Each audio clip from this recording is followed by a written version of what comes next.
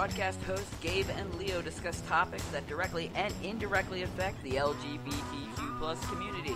Their generation gap has them seeing the world through very different points of view. They fight, they argue, they laugh, and they get off topic. But they make sense. Most of the time. Are you ready for this episode of Let's Talk Trans? Well, let's get started.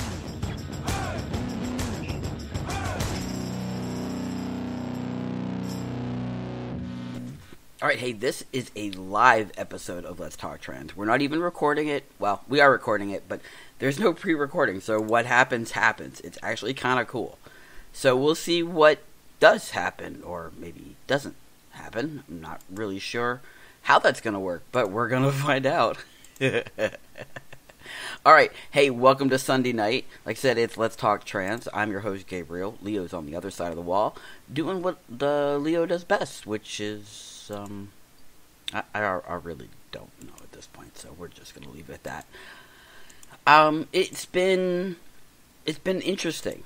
Uh, we had a, I had a, we had a, I had a. I'm not sure who had a, but there was something that happened. Um, so I, I got to tell you guys first off. All right, one, it, has been a, a, an insane week.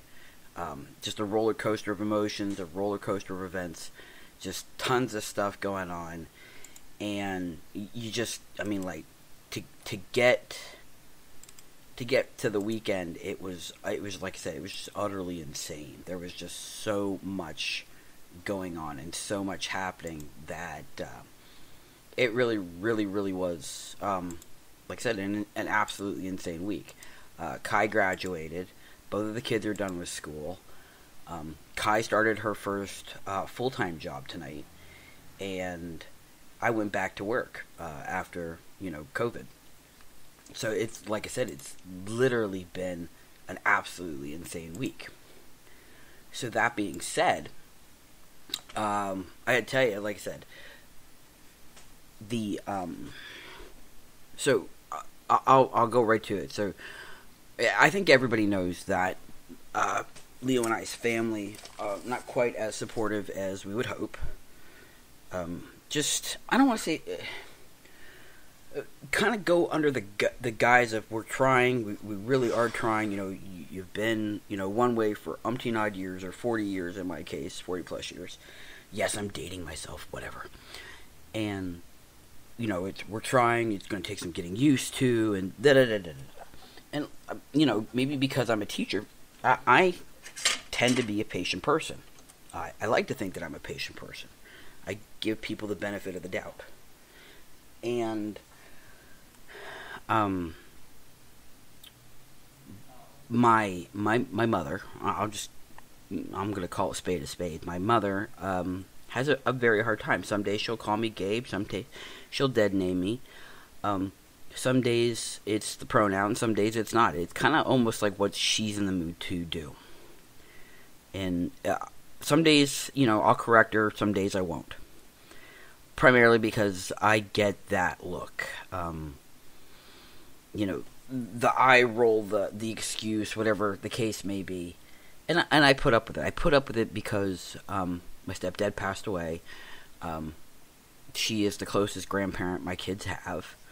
Um, she lives with my sister. You know, there there's a million uh, of one excuses I guess I can use to put up with it. Does it bother me? Uh, yeah. Yeah, there's really no way to, to put it other than yes, of course it bothers me. Um, do I do I think I'll get to a point where I'll get fed up? Mm, yeah.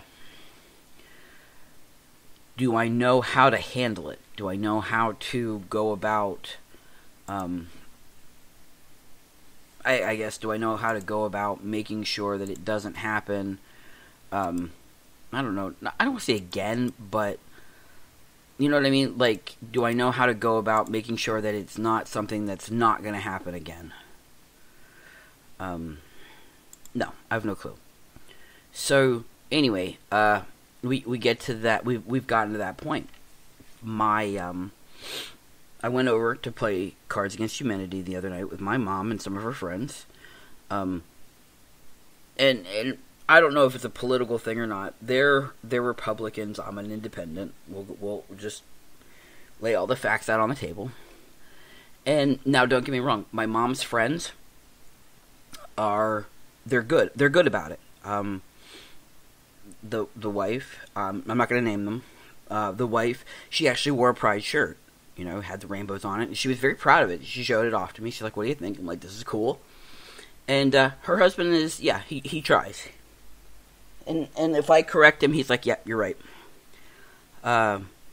So anyway, so we're playing Cards Against Humanity, and uh, the husband misgenders me, and I went, "You mean he?" And he's like, "What?" Oh yeah, he. I'm like, "Thank you." And my mother's like, "Okay, whatever," you know. And I, like I said, I let that slide because it's it's my mother. Um. And about a half hour later, it happens again. And I, of course, I correct him again. Because, like I said, these people are friends. And I know that they don't mean to do it. Um, it bugs me a little bit because they've known me less. Um, so they've really never known me as a she. They've always known me as Gabriel. But uh, it happens, apparently. So, anyway, again, they correct themselves. And I get, oh, just get over it from my mother. I, I mean, like my my jaw dropped, my my, my like literally my jaw dropped, and it made me realize in that split second that it's not, oh, you're forty plus years old. This takes some getting used to. It's not, um, oh, I messed up. I'm sorry. It's, I refuse to accept that you are Gabriel you are always going to be my daughter. There is absolutely nothing. There is absolutely nothing and no way that I will be able to convince my mother that I am not a girl, that I am not Gabriel. Till her dying day, she will misgender me.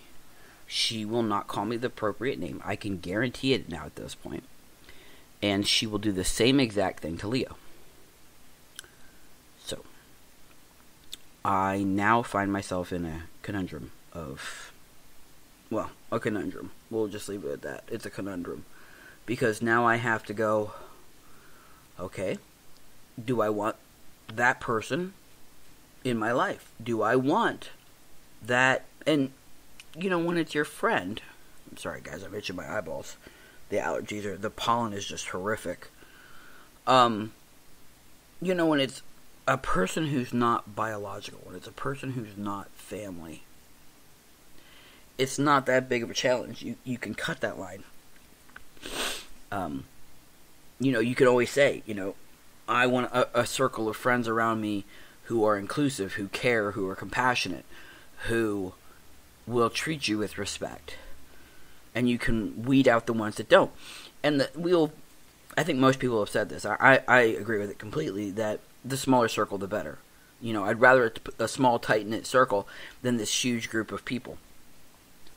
Um, and but the thing of it is, is that for me, and and I don't know where this this sense of family honor loyalty type mentality comes around. I've always been this way. I, I don't know if it's it was never instilled on me. It was never something my parents insisted on or or or, or toted or, or said anything like that. But to me, um, family line is important. I mean, like I've I've tracked my genealogy. I know where my bloodlines um, are, where they. I, have I've tracked the family line back to Rome, um, and we're talking like ancient Rome, like Jesus Rome. Um, all right, maybe not that far back, about 800, 700s things like that. Close enough.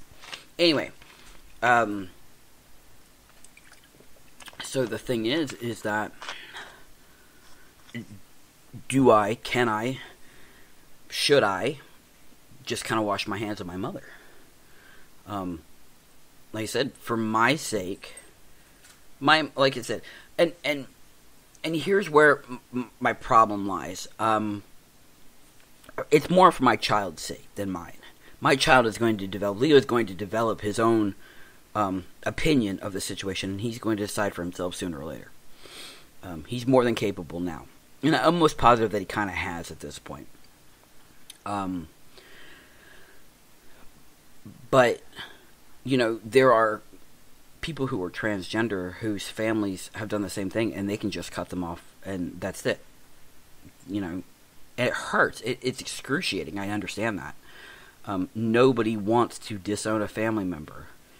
Nobody wants to disown, you know, someone who has birthed them or been there from day one or raised them or taught them how to ride a bike or any of those things. Um, you know, in in a sense, you know, yes and no on the props on that one, um, because uh, my parents divorced when I was little. I was like eight or nine years old when that happened, um, and my mom wasn't around a lot. Um, not until I became a teenager. So there's there's probably like I don't know an eight year span where my mom's not in the picture. I shouldn't say that. Not not in the picture, but the infrequency of her existence or the infrequency of her visit, um, her participation. Let's put it that way. Her infrequency of her participation um, was in such that she did not play a critical role in critical times. I, I, I went through a lot of um, teenagerhood or teenagerism without her, um, and relied solely on my father. And um, so it's the bond is not as strong as it is with my father. That being said, my father, um, my father's a, a, different kind of creature. My my dad and my stepmom uh, live about two hours away from us. Who is our who is our yeah yeah I can talk tonight. I'm even trying to talk slow. Um, you know they're they're further away. I'm sorry, I'm messing with my hair now. They're uh, like I said, two hours away. We don't see them as as frequently uh, we don't even talk, which is really odd because you think in an age of communication where I talk to you guys twice a week, I could talk to my father once a week. Um, but the thing of it is, is that you know when we do talk, he he either avoids um, genders or he avoids names, and he does that because he does not want to offend. I understand why he does it. He does it because he doesn't want to offend. He does it because um, he doesn't want to you know misgender and, and cause the psychological emotional issues that he sees as a parent oh dude you're listening. Oh that's so cool. Thank you so much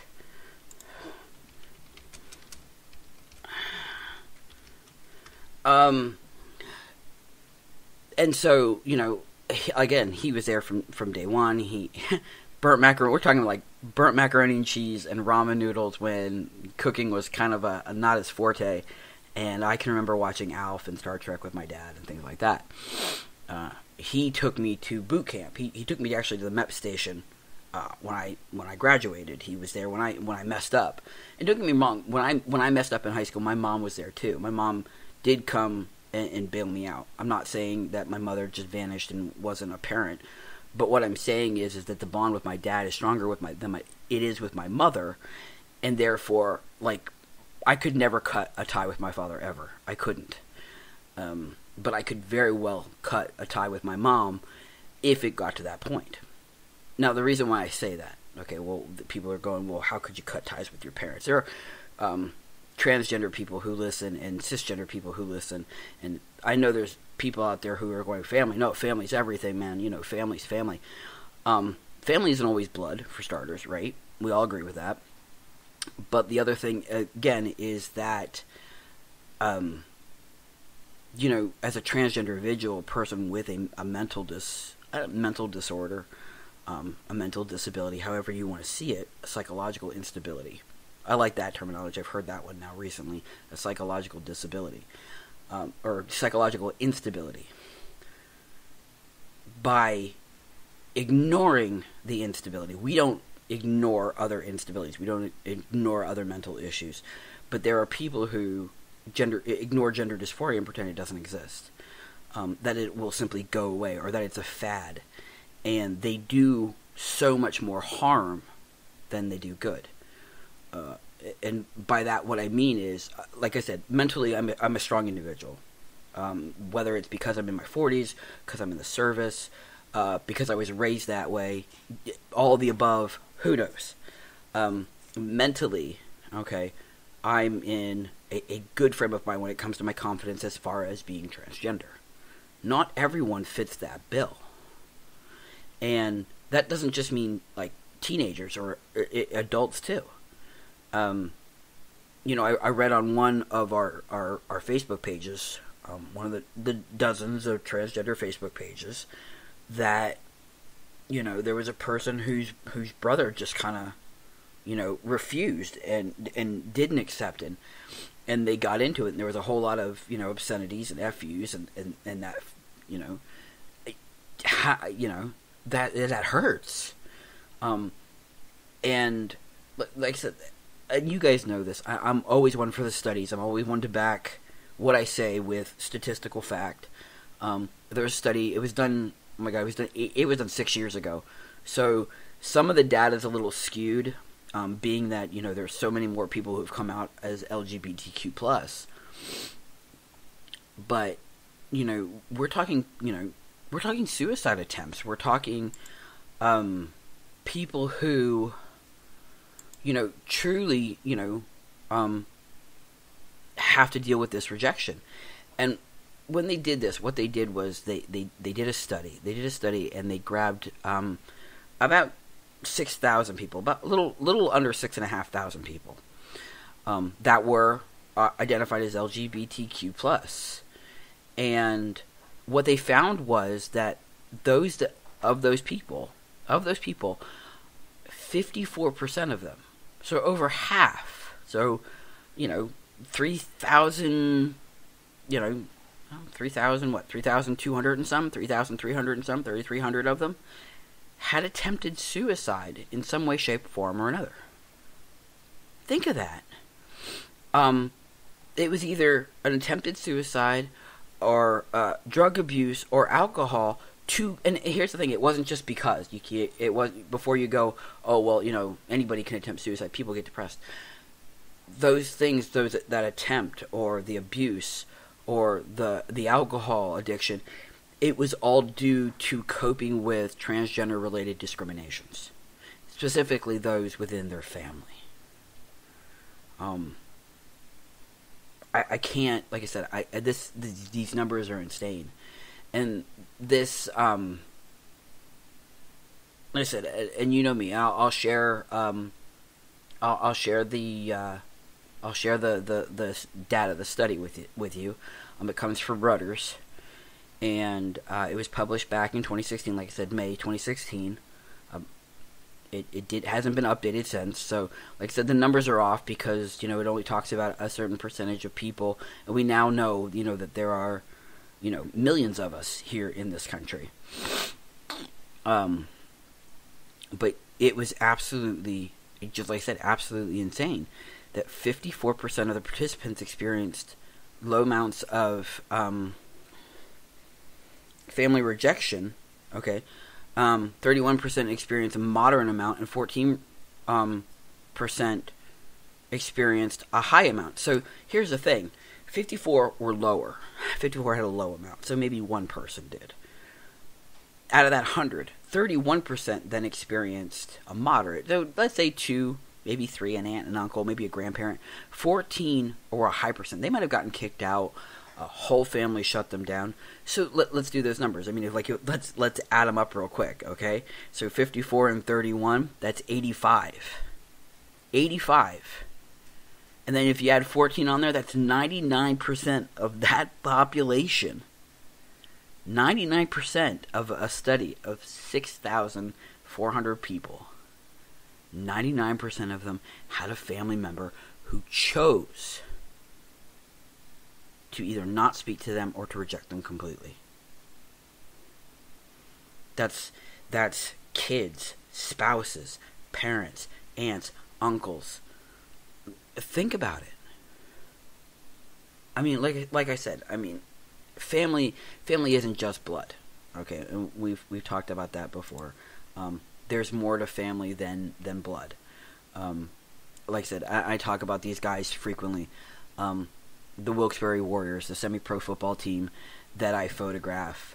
Um, I've talked about them in the last couple of podcasts.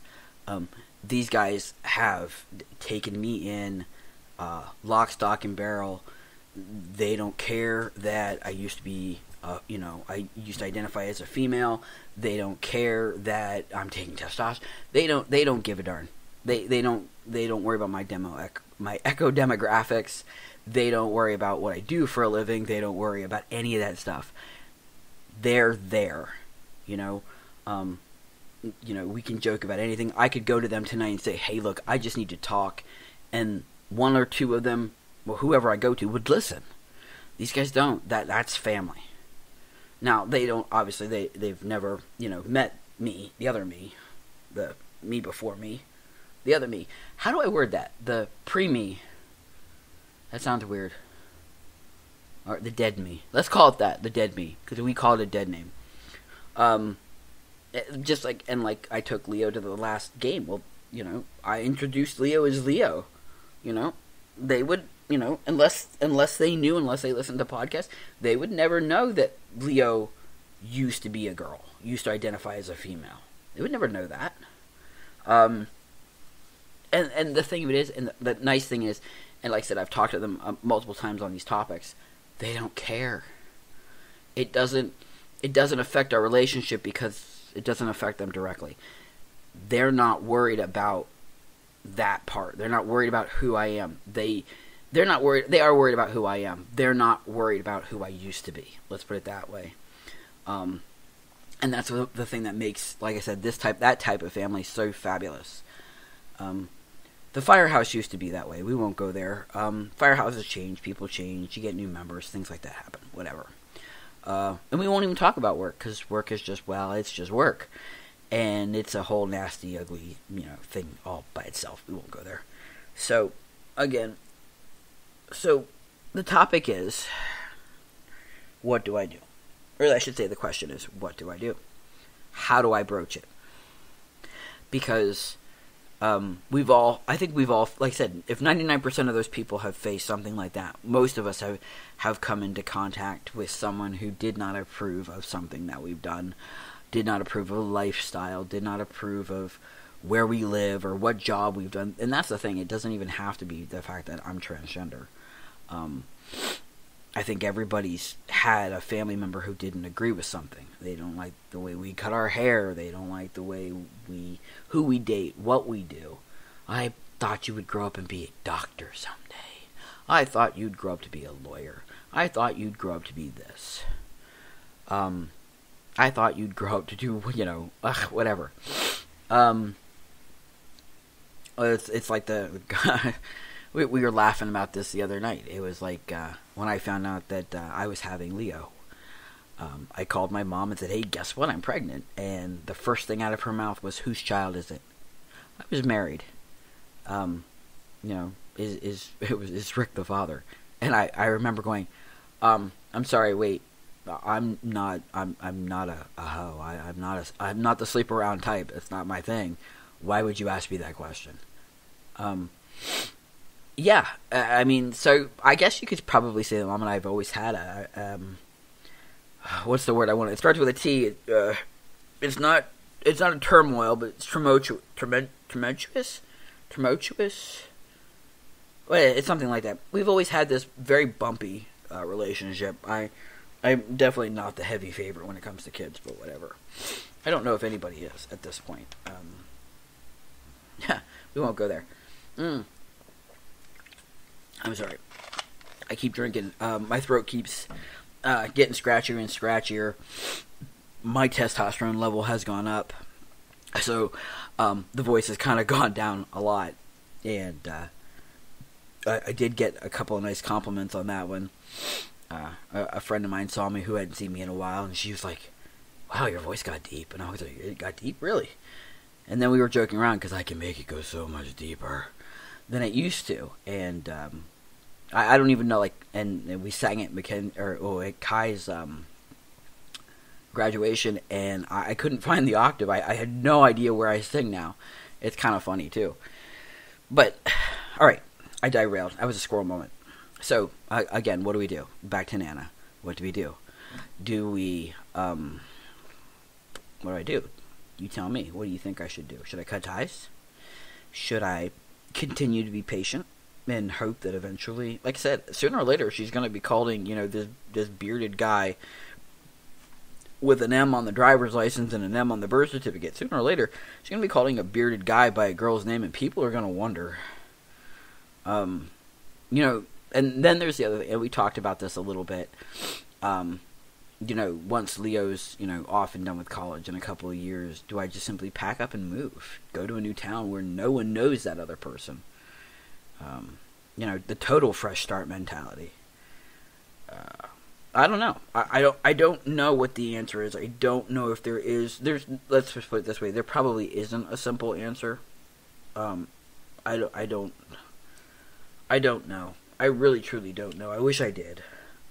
Um, I wish it was cookie cutter and, and simple and easy and harmonious. Um, but like I said, the truth of the matter is, it's, it's none of those things. Um, I can't just, like I said, I can't just cut off a parent and disown. It's just not right. I can't.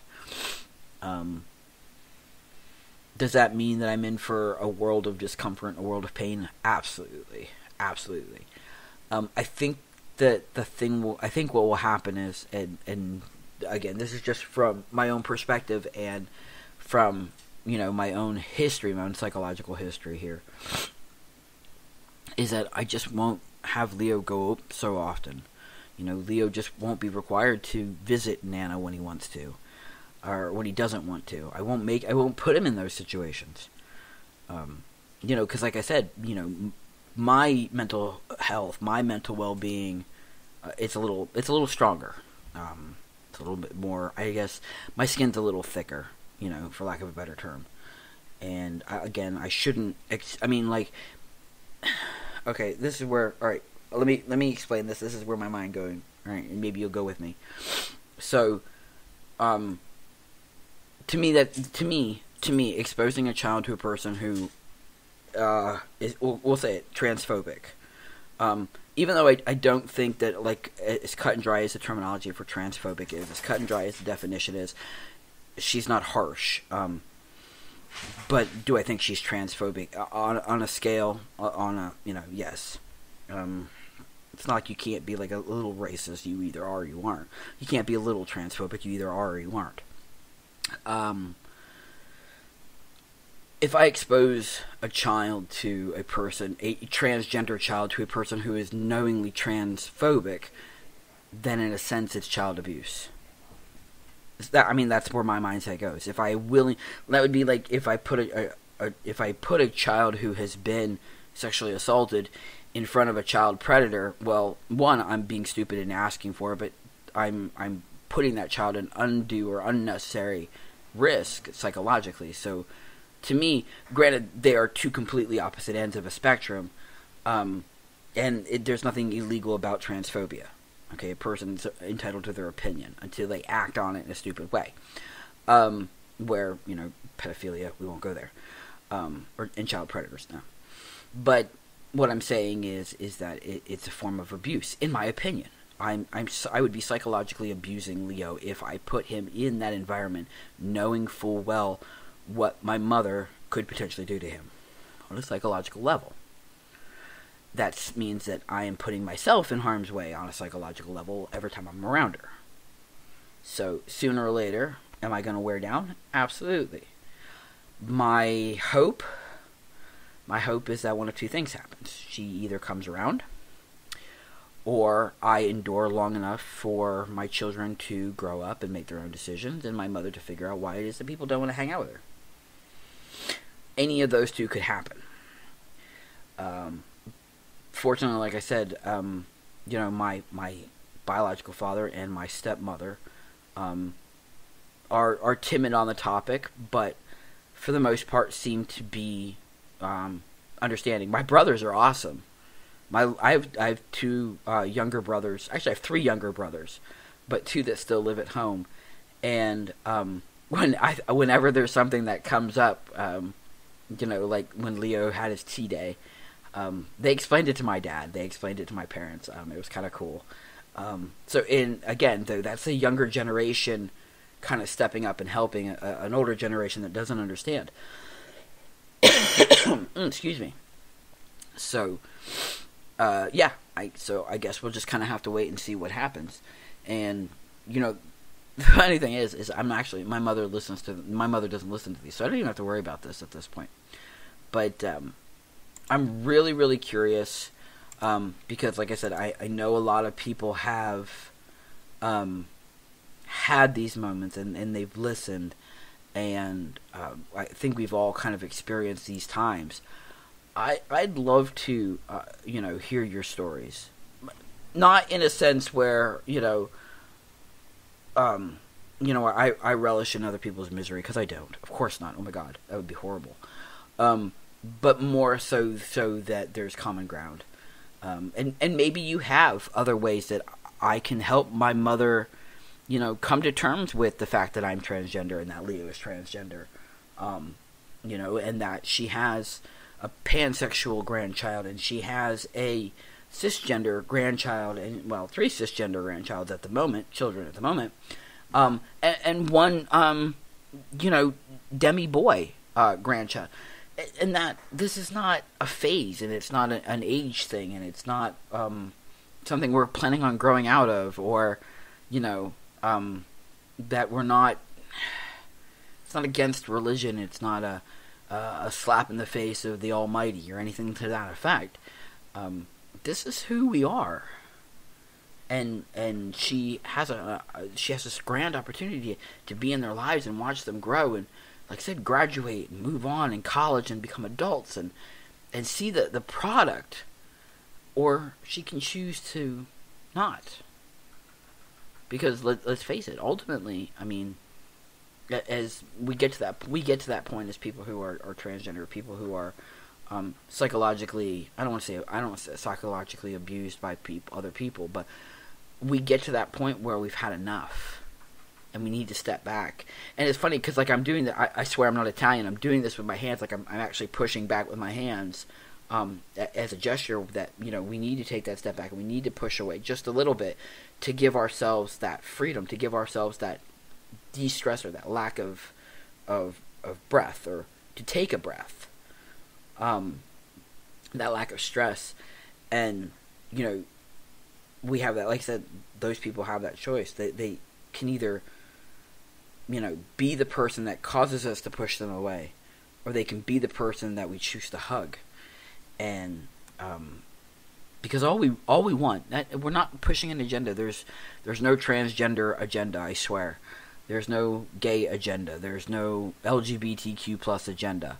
Um, we're not out to, to convert the world or, or change anything. Um, well, I, I, take that back. Of course, we're out to change something. Um, but there's no like mass agenda. We're not taking over the government. I can't wait for the first transgender senator. Holy crap. Um, but what we are out to do is to be accepted to change minds that it's okay to be different. That's the change we're looking for. We just want to be accepted, to be accepted as who we are, what we are. That's all. Like I said, um, you know, I've been a fireman for 12 years. I was completely okay in the fire company before I became transgender. Before I came before I came out as being transgender. Then all of a sudden I wasn't as good as everybody else or I wasn't as accepted as everybody else. So, I don't know. You decide. We're going to wrap this episode up. And I greatly, greatly appreciate you guys listening to this live episode of Let's Talk Trans. This is episode 35. 35 episodes and over a thousand downloads. My God, you guys, if I would have known six months ago that thousand people would have downloaded and listened to me rant about the weirdest things. Um, I, you, there's no way you you could never have convinced me otherwise. Um, but you have, and we're gonna keep going. And I'll try and get Leo on, and maybe Leo will do a live one with me one of these nights. And you know, I know I know Ace and Chloe and a couple others are actually itching because they had a lot of fun when we we did that group one. So and we definitely need to get some more interviews going because we know how to do it now. So anyway, I'm gonna leave you with that. I hope you have a wonderful, wonderful week. Um, enjoy your mid June because midsummer's coming. First day of summer is right around the corner. Holy buckets! Father's Day is coming up. Woohoo! Woohoo! My first Father's Day. Um, I don't know. Anyway, I know that sounded weird. Um, anyway, so uh, I'm gonna leave you. Like I said, I'm gonna leave you with that. I hope that you embrace yourselves. It is completely okay to be different. It's it's the uniqueness that makes the world go round. If everybody were the same, world would be boring. World might self-destruct too. Come to think of it, Ugh, depending on who we're all like. Anyway, um, enjoy your summer. Stay true to you. Go out there and fly, fly your freak flag and make all the difference in the world. All right, all right. So peace out. I love you guys. Thank you so much for listening. Have a good night.